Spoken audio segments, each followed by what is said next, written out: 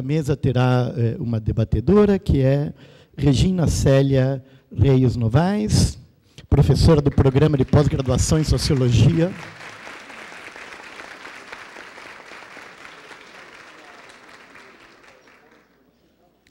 Professora do programa de pós-graduação em Sociologia e Antropologia do IFIX, da Universidade Federal do Rio Grande do Sul, perdão, do Rio de Janeiro, e eh, secretária nacional da Juventude adjunta e presidente do Conselho Nacional da Juventude eh, de 2005 até março de 2007. Esse.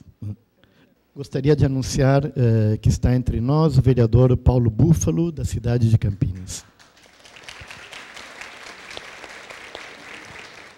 Podemos, então, agora passar a palavra para a nossa debatedora. Boa tarde a todos e todas. Quero dizer que é uma honra estar nessa mesa. Né? Quero agradecer eh, a todos os, os, promotores desse evento, na pessoa do Ronaldo. Dizer que é uma honra, é um prazer estar numa mesa né, com um professor, um juiz, um deputado federal, um senador da República. A gente pode ficar animado com isso. Né? Podíamos começar pensando isso, né? que talvez algumas décadas atrás a gente não poderia fazer uma mesa como essa. Então, isso é um começo assim para a gente puxar os fios da história, que nós estamos num momento, né, como foi acabou de dizer aqui, um momento não otimista, né, mas eu queria começar dizendo isso. 20 anos atrás, essa mesa não ocorreria no Brasil, né, só para dar um, uma levantada. E depois disso, então, eu vou entrar falando, tentando, as, as colocações não tiveram, não tiveram contradições.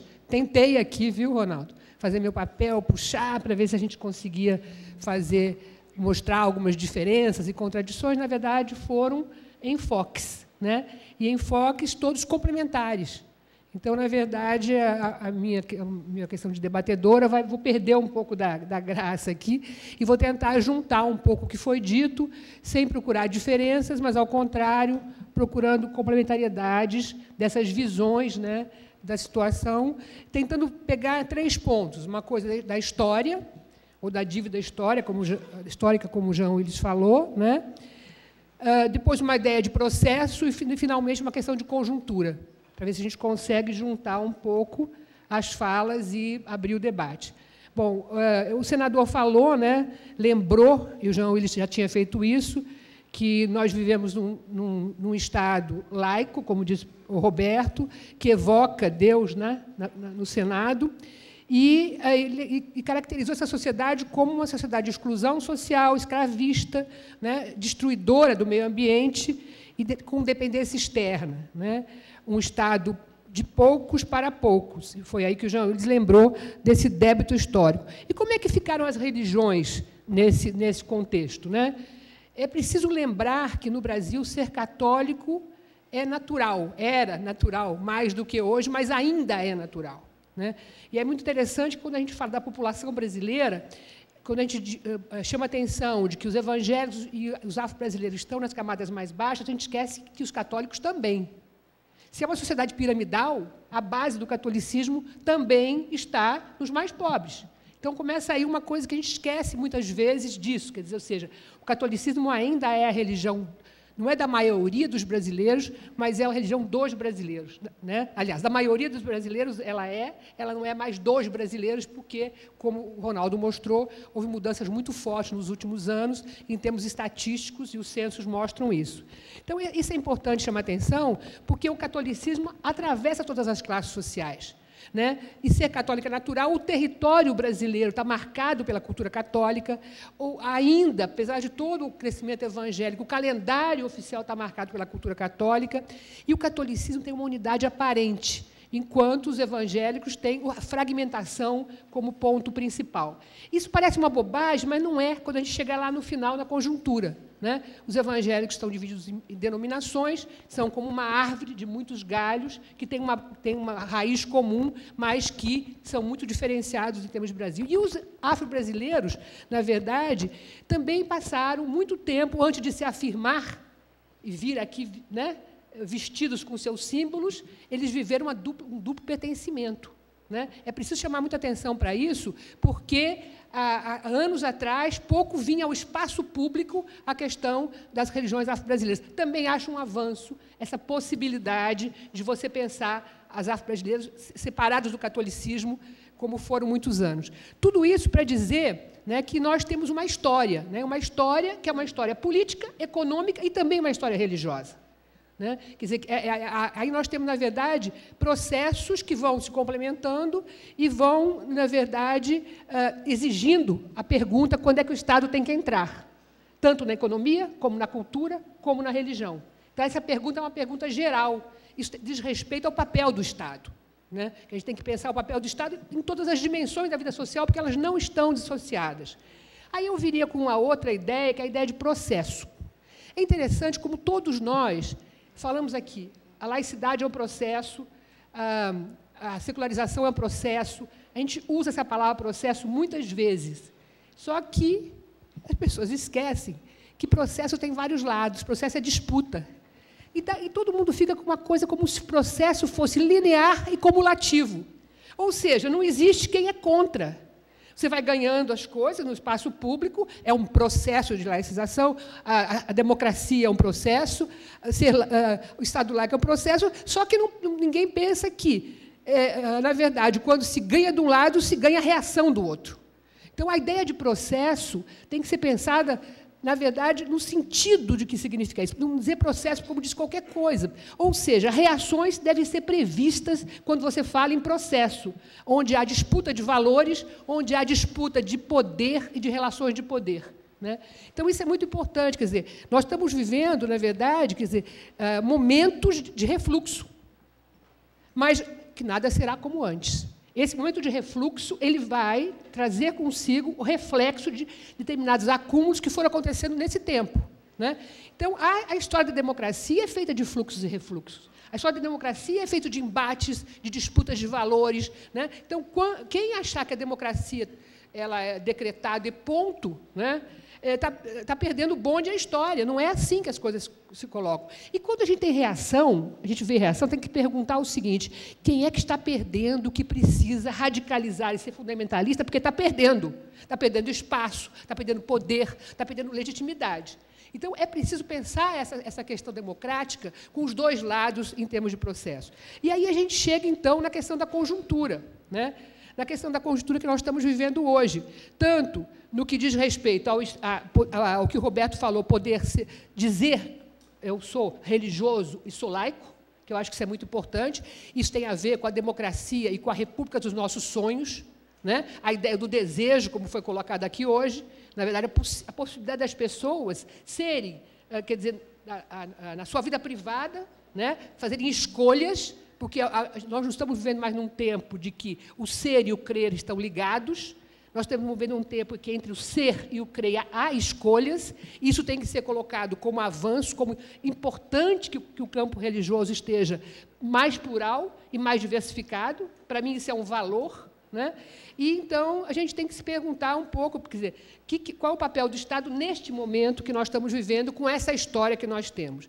E aí, então, eu pergunto um pouco o seguinte, quer dizer, pergunto tanto para o João Willis como para o, senador, né, um pouco o seguinte. Uh, a bancada fundamentalista dos B, como é que é? BBB. Boi, bala e Bíblia. Boi, bala e Bíblia. A gente só, por que a gente fala só da Bíblia e não fala do boi e da bala? Né? É preciso falar dessas bancadas ao mesmo tempo. Né? Inclusive, é preciso falar dessas bancadas ao mesmo tempo para até, se for o caso, tentar trazer à tona as diferenças entre elas, de interesses. Né? Eu acho que isso é muito importante. Então, é, eu, esse, agora vou falar da conjuntura. O que é conjuntura? Conjuntura significa disposição de forças num determinado momento. Significa um retrato. Então, essa a bancada do BBB significa disposição de forças no Brasil hoje, né? com uma história né? e com uma crise que nós estamos vivendo hoje. Então, na verdade, a pergunta que eu faria assim, nos dois casos, do Estatuto da Família, das famílias, ou na questão dos direitos das mulheres, LGBT, na, da questão das religiões a, a, a, de matriz africana, é o seguinte: quem está vocalizando? São as três bancadas, principalmente a evangélica. Né? Mas quem está com eles. Que, que, que, está colocado aí. E aí eu entraria numa questão super importante, porque o Estado entra para resolver conflitos, como foi dito aqui, né? o, uh, o Estado entra em momentos de, de, de separar o que é de foro íntimo daquilo que é. O preconceito sempre vai existir, gente. Preconceito.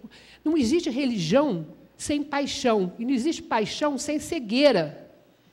Se alguém achar que nós podemos querer uma sociedade plural, com escolhas e sem preconceitos, nós estamos falando de um mundo onde a pessoa não pode ter uma paixão, uma crença, uma escolha. Né? O Estado entra justamente para evitar a discriminação, que é outra coisa, né? que significa o seguinte: violência física e simbólica que diminui oportunidades no espaço público. Este é o papel do Estado. Né? O, o, papel do Estado é justamente esse: é inibir, né? Criar constrangimento àquilo que tem a ver com a minha crença e o espaço público. Quer dizer, aquilo que, que eu vou eu fazer do espaço público uma extensão de mim. Né? É essa questão que está colocada. Então, o que nós estamos falando, na verdade, é que nós estamos vivendo um momento, senador, aonde você tem as políticas públicas reconhecem vários, uh, vários modelos de família. Políticas públicas reconhecem. O judiciário, como foi colocado, reconhece o casamento. As famílias já são multireligiosas, que é uma coisa que a gente não falou aqui. Com todo esse conflito, é, eu trabalho com juventude, eu primeiro vou encontrar naquela, naquela sua, que o Ronaldo colocou, né, dos diferentes censos, ah, você viu que tem duas coisas que crescem, que são os evangélicos e os sem religião. A juventude é uma, a maioria do sem religião. Dentro do sem religião, a juventude está mais forte. Né? E esses jovens, quando eles são entrevistados, eles têm, muitas vezes, pais evangélicos, eles têm uh, uh, uh, o pai, a mãe evangélica, o pai é da Umbanda, do Candomblé, o outro é católico. Quer dizer, nas famílias brasileiras se vive uma experiência de famílias multireligiosas. Então, isso tem que ser chamado a atenção, porque, na verdade, quer dizer, se você fala tanto de família, desse tipo, que você tem tanto modelos de família, né, que já estão no espaço público, como tem também famílias multireligiosas que, que, são, que são reconhecidas. Então, essa, esse, esse, debate, nesse momento, é um debate que tem que reconhecer essa existência e dar visibilidade para isso. Né? Então, eu acho que o papel, o papel que se poderia ter nesse sentido, né, pensando no tempo de hoje, no tempo que a gente está vivendo, né, quais seriam os desafios desse tempo, é, per é se perguntar um pouco né, o que podemos fazer juntos e com quem?